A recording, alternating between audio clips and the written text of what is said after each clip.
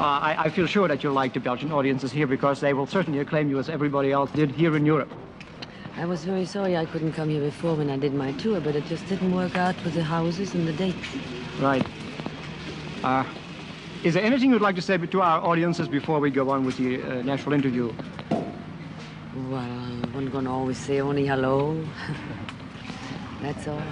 Uh, you have been uh, mainly a singer and an entertainer now. Do you have any plans to go back to films? Well, I've been making films off and on. Whenever there's a good story, I make a film.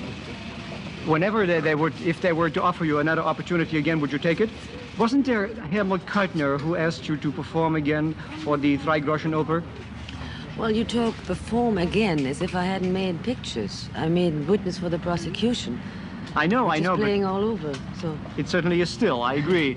Why is it also that everybody starts talking about a, a comeback whenever you do something new? well, nobody does. Oh, well, I've seen this in newspapers and I thought maybe you would like to comment on that. Oh no no no! I've been doing this kind of work now for six years, so they couldn't possibly call anything a comeback.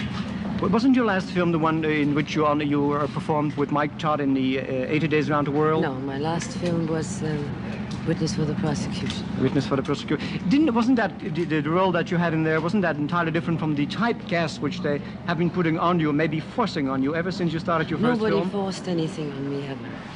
no, I agree there, but forcing you. But wasn't it really so that it was a typecast almost? The the first role you had in 1930, the, the Blue Angel, Yes. uh, and you, haven't you been performing that same way all every every time? Not at all. Not at all. The You Blue did- Angel was a very, very bold, very vulgar role. And most of the pictures that I've done in America, it was just the opposite. Just the opposite. Yes. Was there any preference for that, or didn't you like your first role? Because if you say uh, the way you say it, uh, vulgar, and the, the, the way you pronounce this this word vulgar, doesn't that imply that, that that you didn't like it very much? Oh, no, not at all. I just uh, emphasize it because you said it was always the same. I It is see. uh, uh, exactly the opposite. Exactly the I opposite. never made another picture like The Blue Angel. I mean, never played that type of a part. I'm sure you went out to see the uh, performance of the Blue Angel when it was reissued. Did you have any reaction against it, or, or did you have any preference to the, to the to the role that you played in this film when you first made it? Oh, Is there any see- possible comparison? No, there isn't. There is no comparison whatsoever.